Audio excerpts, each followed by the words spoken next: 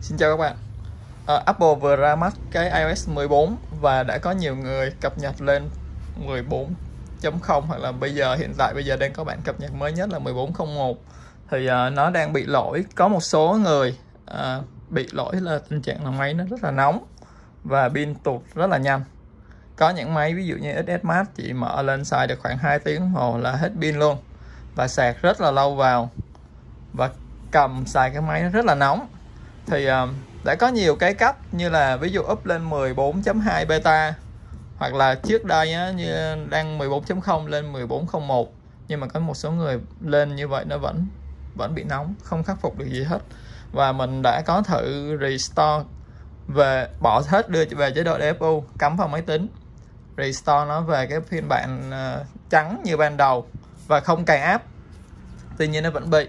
Thì uh, sáng nay là mình đã xác định được cái nguyên nhân là do cái phôi sim đó các bạn. Tức là để xác định được có phải là do cái phôi sim hay không thì uh, các bạn tháo sim ra. Ví dụ như cái máy của các bạn đang sử dụng đúng không? Các bạn tháo cái sim vật lý ra. Rồi vô wifi bình thường thôi. Chỉ xài wifi lên youtube hay là chơi game nào đó vô tư. Cứ xài thoải mái nếu mà các bạn thấy nó không tột nhanh như là và không nóng máy nữa, thì tức là nó là do phôi sim của các bạn đó thì sáng nay mình test, mình đã nhờ một bạn, cái máy của bạn đó là romax đã đưa về DFO restore về lại, cũng 14.0 úp 14.01 bỏ hết app, không cài app gì hết. Nhưng mà vẫn nóng, thì lúc sau bạn tháo cái sim ra, tháo sim ra thì không bị nữa. Và bây giờ mình đã hướng dẫn cho bạn đó là thử cho mình những cái phôi sim khác nhau thì bạn đã có 5 cái sim. Sau khi ờ, thử bằng hai cái sim phôi như vậy nè. Như thế này, nó bị đây. Nó có bạn mặt đều nhau như thế này, thì là không bị nóng nè. Còn cái phôi sim như vậy là bị nè. Hoặc là phôi sim như này. Hoặc là cái phôi sim kiểu nó còn một cái kiểu khác nữa, nhưng mà mình không có sim đó ở đây. Đại khái là sim này là ok cứ để cái sim dạng như vậy vào xài không sao, bình thường. Rất là mát và pin nó rất là ổn định. Còn để cái sim này vô, chút xíu là nó sẽ hao. Nó tụt rất là nhanh. Thì à, cái cách xác định thì mình cũng đã post trên bay Facebook rồi, trên Facebook của Alovender mình vừa mới post lên và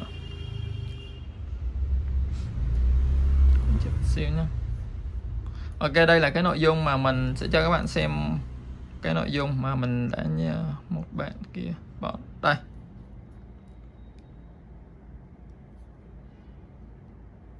Đây, bạn đã thử là năm cái sim.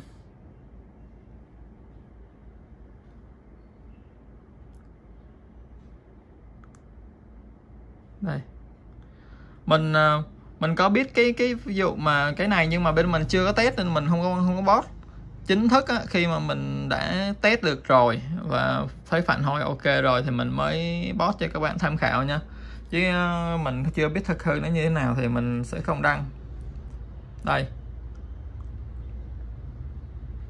Đây là những cái nội dung bạn bạn khách hàng này đã test dùm cho mình. Máy của bạn này rất là nóng.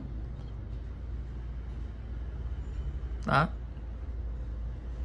Thử đến 5 cái sim là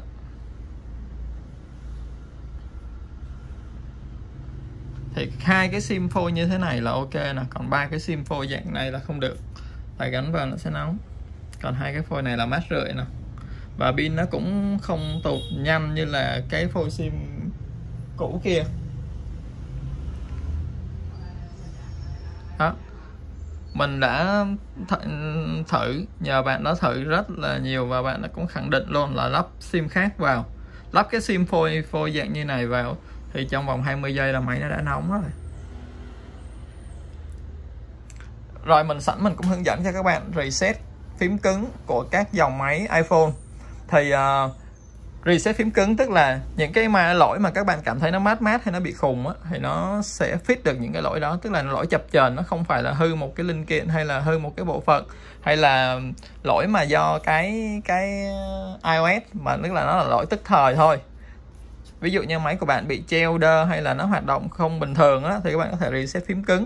Những cái máy mà từ iPhone 6 trở về trước á 6s 6s Plus trở về trước, các bạn còn nhấn được cái phím home vật lý này nè, thì các bạn nhấn giữ cùng lúc hai nút, nguồn và home, hai nút này. Giữ hoài luôn, nó lên cái gì kệ nó, các bạn cứ giữ im như vậy.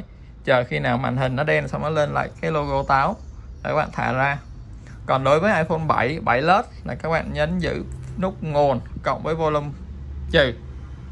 Nút nguồn với cái phím giảm âm lượng, các bạn giữ hai nút đó. Giữ khi nào mà cũng màn hình đen lên là chế táo là ok. Các bạn thả ra. Từ dòng iPhone 8 8 Plus trở về sau. 8 8 Plus X XS XS Max 11 11 Pro Max XR thì các bạn sẽ nhấn như thế này. Nó hơi rối tí xíu. Và phải, các bạn phải nhấn cái thao tác nó phải đều tay. Các bạn bấm nè. Volume cộng. Volume trừ. Giữ nút nguồn nó lên cái này các bạn, kệ nó, giữ im.